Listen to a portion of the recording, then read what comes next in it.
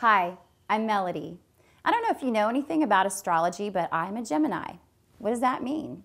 Well, since I was a little girl, I was all about communication and showing off. I love to communicate messages no matter what. Serious, I want to make you feel, cry, think, it doesn't matter. But with your company and your message, I will deliver it with intellect. I will engage the audience and earn their trust. I will also deliver it with wit. That's one of the other attributes of a Gemini. So whether or not you like astrology, hopefully you like me because I'm ready. Tell me whatever it is you want me to deliver and I'll do it with style. Thanks.